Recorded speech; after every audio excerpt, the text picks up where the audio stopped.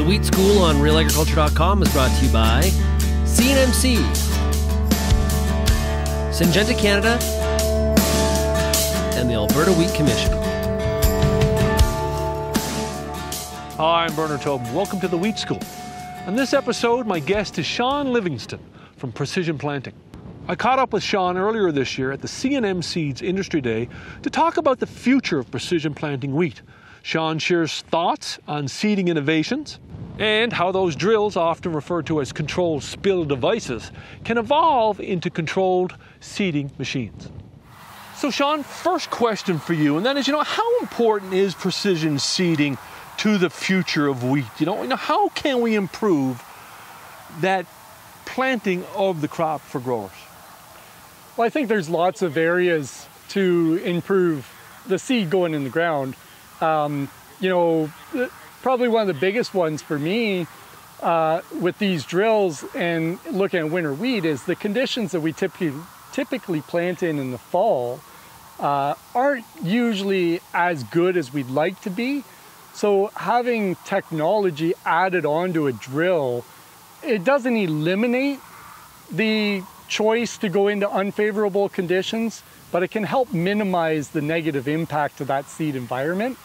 Um, so the, the, the, downforce control, uh, allowing the system to close properly, as well as I think precision seeding, the control of turning seed on and off when we want it, it is going to be critical as we go forward.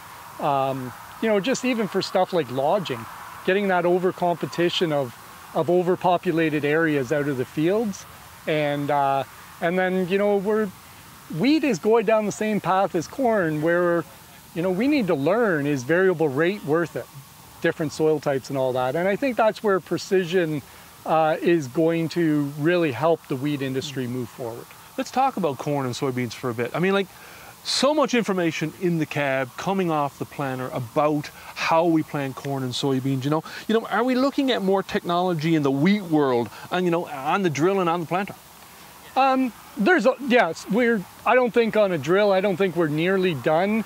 You know, today, uh, precision planting has product to measure the weight on the gauge wheels and control the system for downforce, whether it be on individual ranks or row by row control. Um, and I believe that that has really helped learn more and get the crop in the ground better. You know, understanding that we're seeing this front rank of this drill in front of us take considerable more weight to punch through the ground than the back rank. And then look at a drill that's 30, 40 feet wide, our wings take less weight to get in the ground than the middle section. And, and that technology is there, but now we're moving forward on getting better seed information back to us. What are these meters doing and how are they delivering seed to the ground. Um, so I don't think on, on drills, I think we're just at the tip of the iceberg on what precision can do to maybe help make these a little better. And what are those big challenges, you know, um, from a drill perspective, Shawn, that, that, that, are, that, that they pose for precision planting? Um, probably the big, biggest challenge is just uh, learning more about them. Um, you know, the downforce control is something that we knew from corn planters that was a huge agronomic impact for farmers. Um, you know, now we're looking at, at the seed distribution, let's call it. Um, so, you know, we've got challenges to learn. Let's use this box drill, for example, here. We see a different flow rate of seed when this drill is full versus where it's empty. Well, now that that uniformity change, we need to identify is there an agronomic impact to that, um, and then just the fact that you know, like like corn planters, there's multiple different manufacturers of drills, and they each have a unique uh, situation going on that we need to learn more about and identify where the problems are to to help develop a product for that. Um, you know, and then I think the bigger challenge with drills today, especially in the wheat crop, is just the conversation with the growers about how much opportunity there is for ROI in grains by looking at the, the equipment that they're planting with. Yeah. Uh, you know, in, in general, I mean, it's, it's, a big question. You know, can we adopt these controlled spill devices and, and turn them into controlled seeding machines?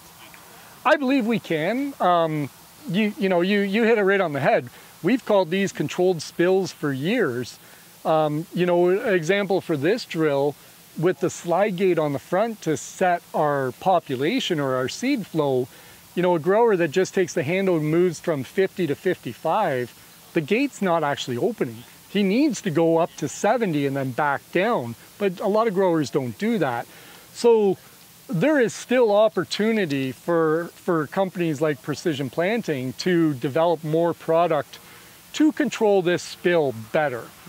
Final question for you, and that is, you know, building on that, you know, what type of technology do companies like Precision Planting and others, um, will they bring to the market in the years ahead without you know, giving away any state secrets?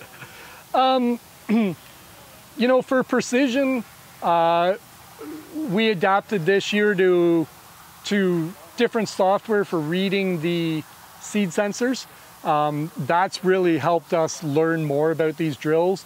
There's a couple of other sensors on the market that we are working on to learn more about. Um, but you know, agronomically with these drills, uh, uh, seed delivery, um, control of turning them on and off, uh, and and more research needs to be done on the closing systems, I believe. Um, you know, I, I think that those are the biggest agronomic advancements that we can bring to growers for the future for these drills. Well, Shawn, hey, great to have you on the Wheat School. Uh, much appreciated. Thanks for stopping by. Thank you very much.